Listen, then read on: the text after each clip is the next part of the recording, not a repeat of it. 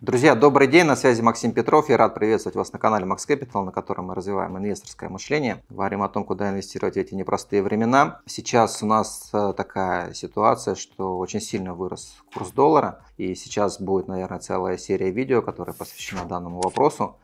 А, в этой связи когда мы говорим о развитии инвесторского мышления, да, я хотел бы вам показать какие-то определенные неочевидные вещи, которые можно использовать в качестве того, чтобы сохранить свой капитал, приумножить его, используя эти моменты. Да, то есть каким образом, а, на что ориентируясь, а, можно сохранить капитал и непосредственно его приумножить. И здесь а, в том числе хотелось бы поговорить о последствиях первого, второго, третьего порядка, которых, как говорится, я всегда люблю да, думать и размышлять. И как лично я смотрю на эти вопросы, связанные с тем, чтобы высокий курс доллара – это, соответственно, возможный разгон инфляции, более высокий уровень инфляции – это обесценивание денег, э, заработные платы пропорционально не растут, и поэтому смотрите обязательно данное видео до конца, чтобы понимать, как я смотрю на эти вещи, какие есть еще дополнительные неочевидные вещи, которые позволяют э, как раз-таки приумножить свои денежные средства. Смотрите, одним из последствий э, высокого доллара, то есть если посмотреть основные комментарии э, наших э, монетарных властей, э, финансового блока правительства России, то речь идет о том, что у нас идет так называемое снижение профицита торгового баланса. Звучит сложно. Что это значит простым языком? Это значит, что мы продаем свои товары, которые произведены в России за рубли, мы продаем во внешний контур, да, то есть раньше мы продавали абсолютно всем, сейчас, соответственно, недружественные страны ограничили возможность продажи по-разному, что-то вообще запретили продавать, что-то ограничили цену на продажу, там нефть, нефтепродукты. Газпром тот же самый стал меньше поставлять газа в Европу, да, то есть переориентируются поставки и логистика на дружественные страны. И что фактически получается? Получается, что размер долларов, который мы получаем а, внутри России, он уменьшился. Ну, количество долларов, количество товаров, которые мы продаем, и долларов, которые за это получаем, оно уменьшилось. То есть самих долларов стало меньше. С другой стороны, вырос импорт. Да, то есть компании, которые занимаются импортом, переориентировали логистические цепочки. Соответственно, импортеры начинают покупать валюту для того, чтобы валютой рассчитаться за иностранные товары, которые экспортируются внутри России. И, соответственно, вот этот вот баланс рвется. Да, то есть у нас долларов меньше, продажи долларов меньше, потому что экспортерам разрешено не возвращать валютную выручку в Россию. А импортеры, соответственно, покупают. Импортеры которые покупают. Э, с 14 августа, по-моему, у нас получается правительство должно возобновить покупки валюты. Э, у нас э, отпускной сезон, да, люди там, может быть, в меньшем количестве, но все же едут за границу и тоже спрос на валюту растет, и поэтому получается, что у нас начинает рваться. С другой стороны, это достаточно позитивно высокий курс э, доллара, позитивно для правительства, да, для наполнения бюджета, потому что мы, получается, нефти продаем больше, если курс будет больше, то рублей мы будем, соответственно, в бюджет получать больше. И вот здесь вот кроется основная суть, да, потому что если вы будете бесконтрольно позволять рублю ослабеть, а доллар укрепляться, то импортные товары начнут расти в цене. Сейчас еще в настоящий момент, по сути, в импортных товарах не отразился вот этот валютный курс, да, там 90-95 рублей за доллар. Он в ценах импортных товаров еще не отразился. Он отразится где-то через 3-4 месяца, потому что сейчас импортеры еще продают товары, которые были куплены по более низкому курсу. Товаров было куплено очень много, потому что курс был низкий, да, и, соответственно, вот эти вот складские запасы пока что еще распродаются, и инфляция еще изменение цены, связанное с валютной переоценкой, в товарах еще не произведено. И, соответственно, мы это увидим ближе к осени. Это вот первая история. Поэтому здесь речь идет, что нужно соблюсти баланс между тем, какой курс рубля. Наиболее комфортный он находится где-то в районе 80-85. Скорее всего, мы туда придем, да, то есть э, инструменты для этого есть. Но инфляция, соответственно, будет сказываться. Это вот первое, да, а, первый блок, который открывает большое э, число видео, которые мы записываем в настоящий момент, чтобы было понимание, что же такое происходит, да, то есть э, почему это приведет к инфляции. Теперь в этом видео, да, то есть некий такой неочевидный способ, э, который э, пришел мне на ум относительно недавно, вызван он тем, что у меня есть да, то есть я не идеальный, у меня есть вредная привычка, я курю сигары, да, то есть и там камин да, такой публичный, да, чтобы, чтобы люди знали, что, что не все идеально, и что лично я вижу, да, то есть э, какие у меня мысли по этому поводу возникают. Правительству играться с валютным курсом, ну, достаточно рискованно, да, то есть вы можете наполнить бюджет позволив курсу доллара укрепиться, но это в свою очередь приводит к высокой инфляции. Высокая инфляция приводит к тому, что ЦБ, управляя этой инфляцией, начинает повышать процентную ставку.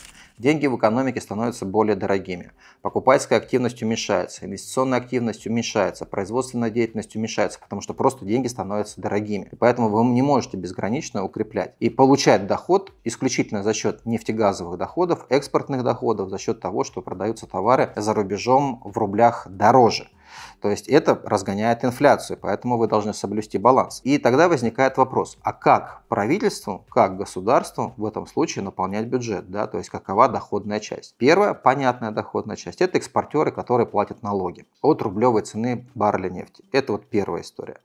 Вторая немаловажная составляющая доходной части бюджета – это налоги. Налоги физических лиц, налоги юридических лиц, мы видели уже историю с НДС, повышение с 18 до 20%.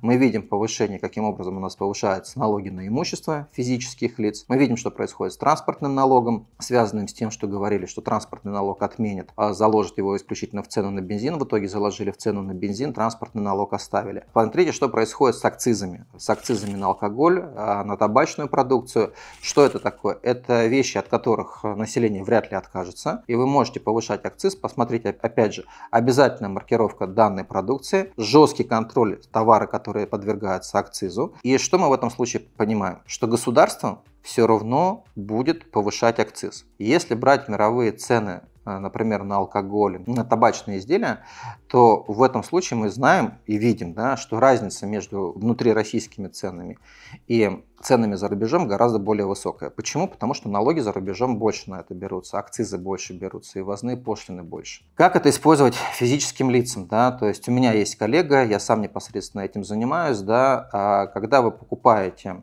Э, например, элитный алкоголь, когда вы покупаете зарубежные какие-то там, я не знаю, сигары, да, вы получаете, что называется, двойной профит. Потому что, во-первых, они торгуются в долларах. То есть, если вы вкладываете в доллары, то в этом случае, ну, как бы за счет валютной составляющей цена сохраняется. Это первое, да, то есть вы получаете некое такое, если курс доллара будет высокий, то цены вырастут, да, посмотрите опять-таки цены, которые мы наблюдаем. Второе, ограничение, да, которые есть. Логистические ограничения относятся к предметам роскоши, да, опять-таки западные страны ограничили поставку какого-то элитного алкоголя внутри России. Третья история – связанная с акцизами. Да? То есть если государство будет задумываться над тем, как увеличить доходную часть бюджета, а расходная часть сейчас очень большая на проведение спецоперации, то в этом случае неизбежно повышение акцизов, что на алкогольную продукцию, что на табачную продукцию.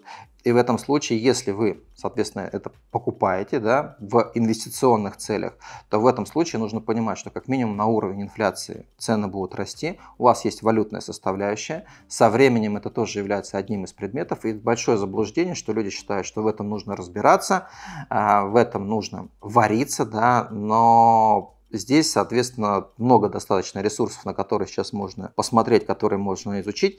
И я не говорю, что всем нужно пойти и кинуться в эту историю. Но для себя лично я рассматриваю, да, рассматриваю данные объекты, в том числе в инвестиционной плоскости, потому что как бы составляющие дохода я вам описал. Валютная составляющая, акцизы, цена, соответственно, непосредственно растет.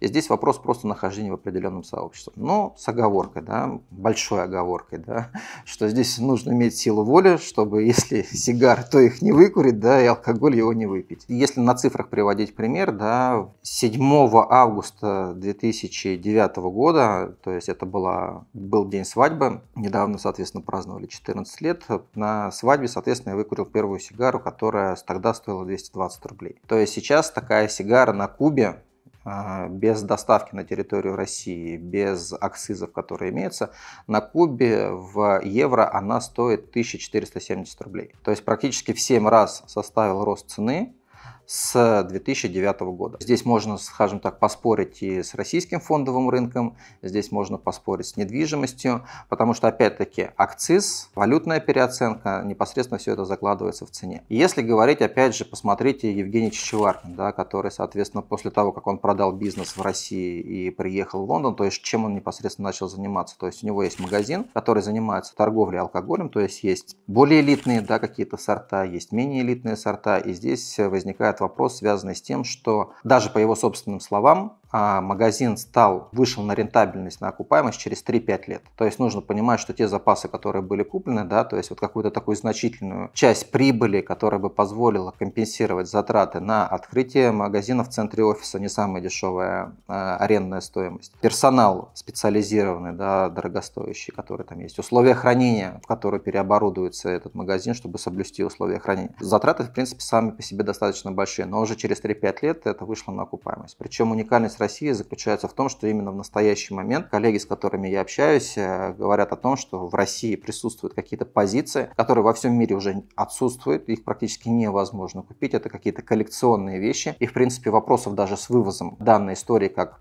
как средство транспортировки капитала, ну, в принципе, как таковых нету, да, которые, которые осуществляются. То есть это не предметы искусства и прочее. А где выгоднее покупать в России или за рубежом? Если мы это прям на поток ставим и специализируемся, то здесь нужно смотреть по всему миру, там, вплоть до того, чтобы покупать у производителей. Если мы говорим для простых людей, то, в принципе, там порог входа, он не такой большой, да, но опять-таки нужно понимать, что нужно соблюсти еще условия хранения, да, опять тот же самый винный шкаф, химидор какой-то специализированный для хранения, потому что это тоже требует определенных требований соблюдения хранения. В России сейчас по-прежнему это это, это, это интересно, да, то есть, ну, надо искать э, отдельные бутики, их на самом деле достаточно много. То есть, еще раз, у меня коллега бывший в Воронеже, да, то есть он год назад начал заниматься, и отдельные позиции, то есть, выросли там от 30 до 100 процентов буквально за год. Друзья, данное видео было посвящено возможным риском того, что доллар у нас достаточно высокий. Бюджет государственный пополняется за счет каких основных источников? Он пополняется за счет нефтегазовых доходов, доходов от экспортеров. И второе, что бюджет непосредственно нужно пополнять. Да? И здесь то есть мы поговорили о том, каким образом вот эту вот историю, связанную с акцизом, которая неизбежно будет повышаться, а продукция импортная, которая, в цену которой еще не заложено увеличение доллара, то даже сейчас это можно непосредственно использовать на перспективу 3-4 месяцев. А, может произойти так, что просто поставщики того же самого алкоголя, они просто перепишут цены. Да? То есть в Москве это уже прямо сейчас происходит, в регионах такого еще нет. Да? Но опять-таки нужно понимать, что каким образом вы в дальнейшем это еще сбывать будете. То есть здесь тоже, чтобы в рамках правового поля находиться. И в следующем видео мы обязательно поговорим про компании-экспортеры. Но сейчас то, что можно сделать в настоящий момент – во-первых, попробовать разобраться в этой теме.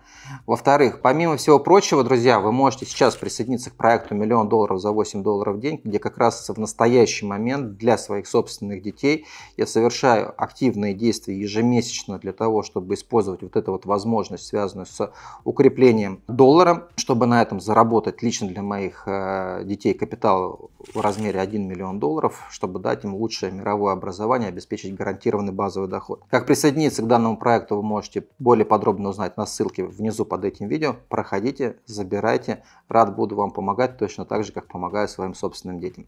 Сегодня меня на этом все. На связи был Максим Петров. Пока-пока.